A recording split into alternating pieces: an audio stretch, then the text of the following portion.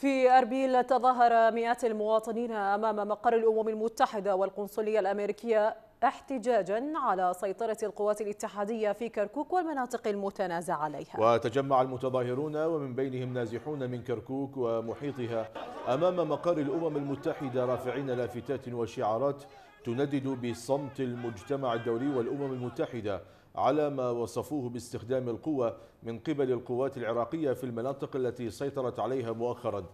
وطالب المتظاهرون من الأمم المتحدة والولايات المتحدة بالتدخل لدعم إقليم كردستان وقوات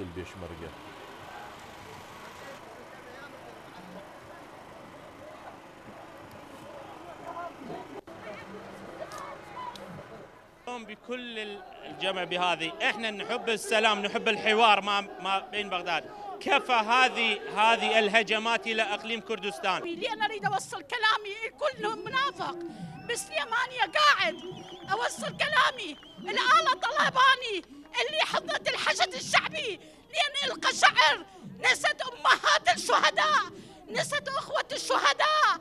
نحن نحن نريد تدخل دولي. ما يحصل الآن في كردستان ليس عمليه تثبيت القانون إنما هو مشروع طائفي يريدون به استكمال مشروع الهلال الشيعي الذي يربط بين طهران ولبنان ودمشق وبغداد. نحن الشعب الكردي نشعر بأن الغرب والذين يس... وأمريكا الذين يسمون أنفسهم بالعالم الديمقراطي والع... وال...